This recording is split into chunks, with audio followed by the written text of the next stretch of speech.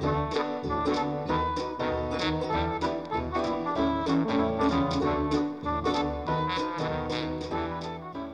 everyone, welcome back to my channel. I hope you're having a wonderful day. Today I am sharing my vintage clothing collection and this is a video I'm really excited about and it's one that has been requested for a really long time. So years ago I shared my vintage collection and since then it has grown and there were a lot of items that I actually did not share in that video. If you missed it I will leave it linked down in the description box and you can also view it here after you watch this video. um, so this one is just going to focus on my clothing items so I have a lot of dresses, coats, and and nightwear. I do plan to share more videos in this series covering more of my vintage collection, including vintage home items, beauty and vanity items, and accessories. And speaking of accessories, this video is sponsored by Hansen Shoes, and I'm excited to chat more about them in a little bit. So before I get into my vintage clothing collection, I do want to share a little bit about myself as a vintage collector. I started collecting from a young age.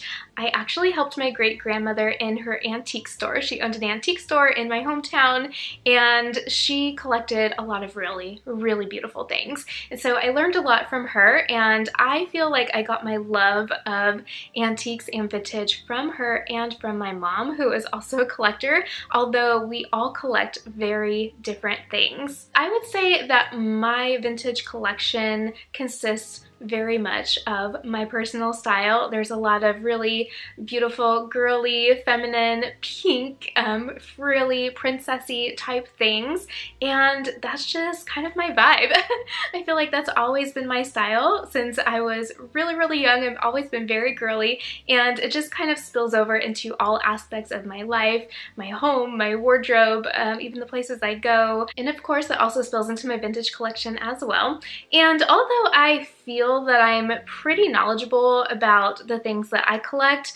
Uh, I could be wrong, especially when it comes to dating things. Um, whenever I date it, I look at the tags, I look at the details, the brand, and also just the overall garment and how it looks, the shape of it, um, that sort of thing, and try to date it that way because sometimes it's hard to find information on certain pieces. So if I get something wrong, I'm sorry, but I am just estimating. And if you are knowledgeable about um, any of the items, then feel free to let me know below and correct me. Um, I would be really grateful for that and happy to learn more if you have any information. Okay, so let's go ahead and get into my vintage clothing collection. So the first item is this beautiful top. The skirt is actually not vintage. it's from Chicwish um, from maybe like a year or two ago, but I thought it looked really pretty with this top. So this is what it looks like. How beautiful. So it has this amazing Peter Pan collar and some floral embroidery. Oh, it is absolutely stunning. This one doesn't have any tags, so I'm not sure what the brand is. And just by looking at it, I'm thinking that it is probably 1950s, possibly early 60s, but I'm leaning more on the 50s just because of the Peter Pan collar and all the embroidery.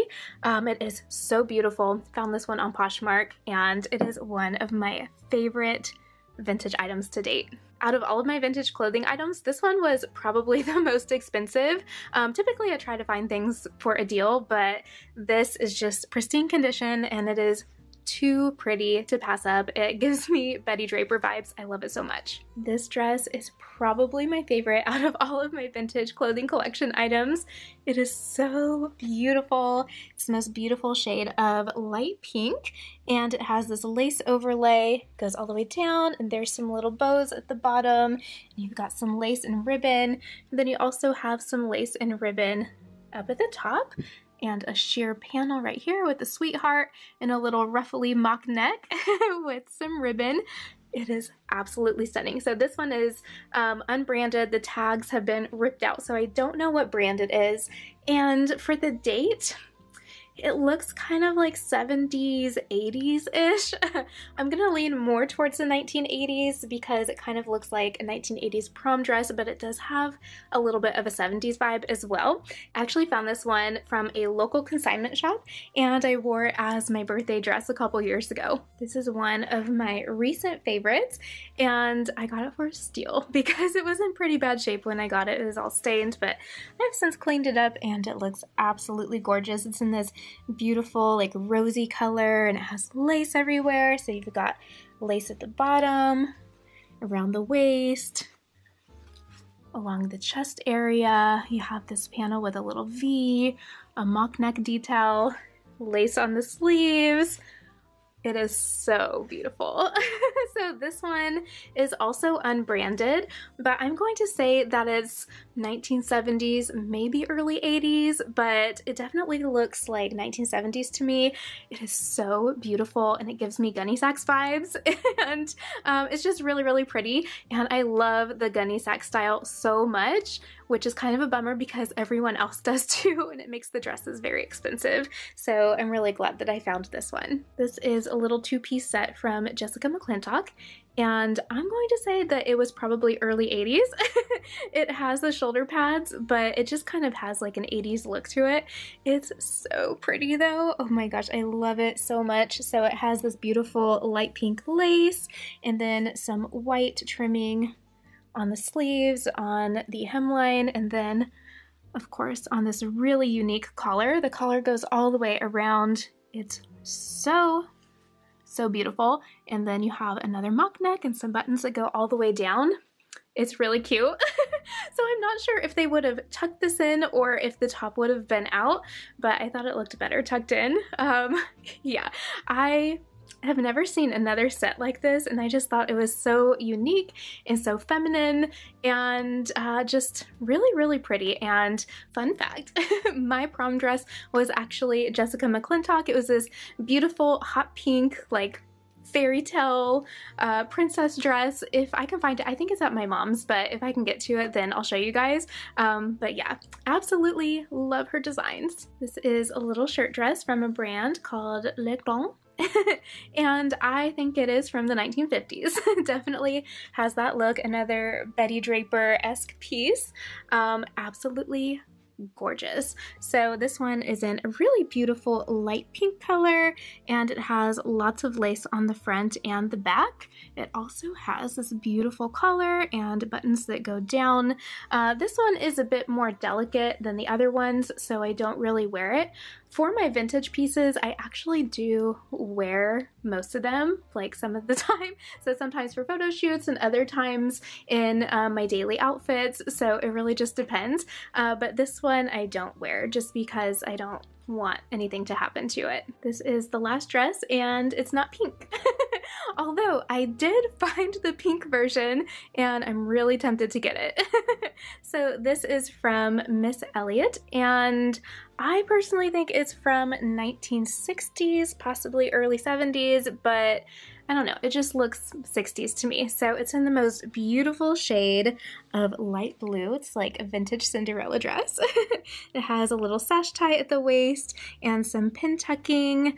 And then there's some really pretty lace details at the neck and then also on the sleeves. And you have some sheer sleeves and it's just really really, really pretty. It's so like twirly and comfortable. I absolutely love this dress. Let's take a little break and chat about today's sponsor, Hansen Shoes. I know that so many of you love shoes, so I know that you're going to love them. if you're unfamiliar with Hansen's, they are a local family-owned business based in the Bay Area. They focus on footwear that prioritizes both comfort and fashion, the perfect combo in my opinion. their mission is to make the world an easier place to walk in. So I got four pairs of their shoes and I have to say they are all so comfortable. This Vionic shoe is the perfect little black sandal. It has an adorable bow detail and a very flattering design. Plus, it is so comfortable and easy to walk in, especially with the block heel. This would be a great heel for day or evening. This is another pair of Vionic sandals, and although the heel height is just a tad bit taller, it is still so comfortable and easy to wear and walk in. This design is more modern and the metallic gold is so glamorous. These sneakers from Hoka are so comfortable and lightweight, they are perfect for the gym. A lot of my workout wear is very colorful, so the white goes with everything and they look and feel amazing on. And this pair of sneakers from Pikolinos is perfect for every day. It's a little dressier than your average sneaker, but they're just as comfortable and it looks amazing with everything from jeans to dresses to skirts. These are just a few of the amazing brands and shoe options that Hansen Shoes has available. If you want to check them out, I will leave them linked down in the description box below. Let's go ahead and get back into my vintage clothing haul. And now we get into sleepwear. This is probably one of my all-time favorite vintage finds. I feel like it is totally me and I have always wanted a vintage house coat. so this one is unbranded. The tags are gone, but I would say that it's from the 1950s or early 60s. It just has that look to it. The pink is so beautiful. It's the most perfect shade and um, it's just ultra girly and feminine. There's ruffles on the pockets and also ruffles along this little lapel here and there's quilting all over. It's so flattering and warm and cozy and this is probably the item that I wear the most out of everything. Um, I do wear it as like a daily house coat whenever I'm chilly in the house and I think it looks really cute and it's totally my style. This is possibly my best vintage clothing find to date. It is a vintage Christian Dior nightgown. How stunning is that? Oh my gosh, I love the floral print. It has this stunning light pink background with some pastel florals. There's some buttons that go down and there's also some little uh, lace detailing and some little bows with rosettes. I am obsessed. There's also lace on the sleeves. It is so so pretty and so comfortable. I would say that this is probably 1960s, maybe 70s. Um, not really sure. It also has pockets, but it's amazing. I seriously don't want to take this off. One thing I absolutely love is a good vintage matching pajama set. So this isn't matching, but I do have the little peignoir so beautiful. I love the sheerness. It's in the most gorgeous lilac shade and there's lots of lace. There's a little ruffle that goes around and the top is really pretty as well. It has this beautiful lace detailing, some little lilac rosettes and little bow. You also have a little flutter sleeve with some lace and it is so pretty. So this is from Tosca and I think that it is probably from the 1960s. It's really cute, um, really girly, and I wish that I came with a matching pajama, but it didn't. But this is really, really pretty. Um, also, if you were wondering, the nightgown that I am wearing is from For Love and Lemons. I'm not sure if they still have it, but if they do, I will leave it linked down below. It's really pretty, very glamorous, and I think you guys will really like it. This is an ultra glamorous robe from a brand called Peony, and and to me, it looks like 1960s or 70s. It's really, really pretty. so the background is this really stunning sage green color and it's in this um, beautiful like silky material. There's embroidery all throughout of um, different florals and birds and it is really, really stunning, like a piece of art.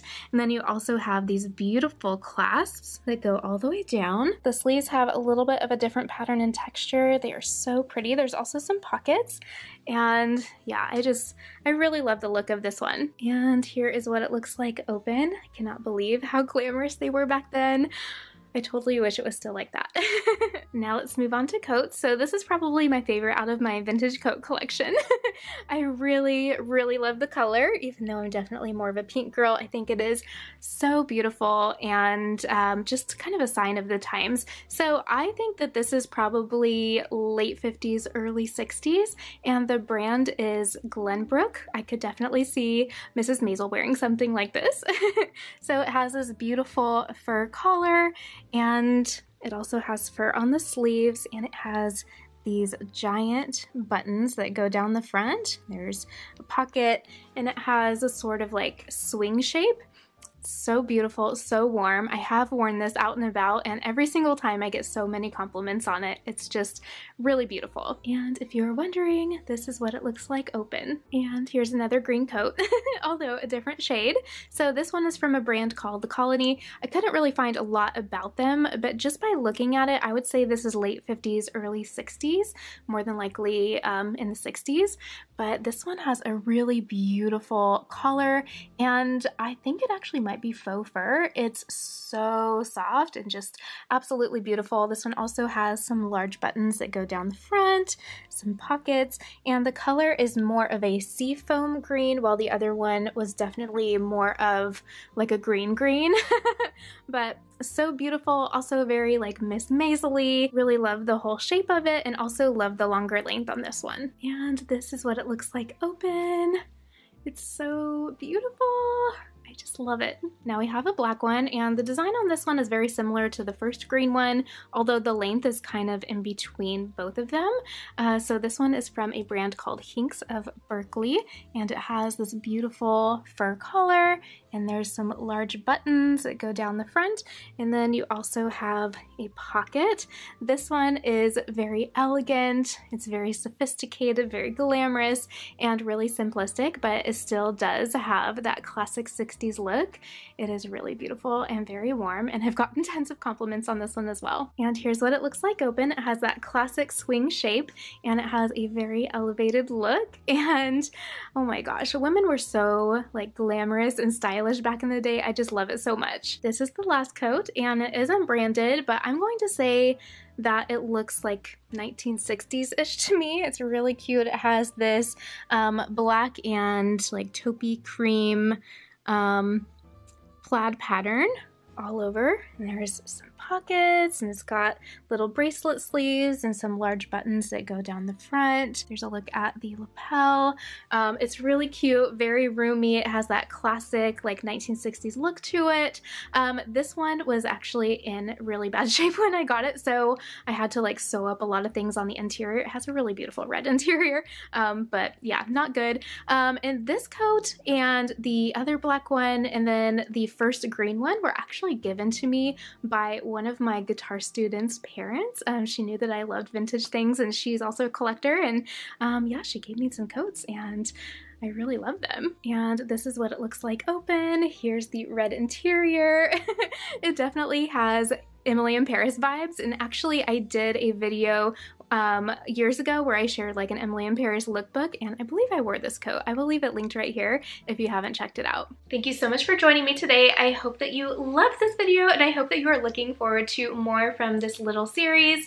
Um, I would love to know which item was your favorite from my vintage clothing collection. Also, do you collect anything? Are you also a vintage or antique collector? I would love to know what you collect. Even if it's not vintage or antique, I would love to learn more. Uh, feel free to leave a comment down below. If you like this video, make sure you hit the big thumbs up below and don't forget to share and subscribe. I would love to have you as part of the community. Also for all my shoe lovers, don't forget to check out Hansen Shoes linked down below. And if you want to see even more feminine fashion, beauty, and lifestyle content, make sure you check out my blog, lizzieinlace.com and don't forget to follow along on my pretty pink Instagram at Lizzie in Lace. I will see you next time. Bye!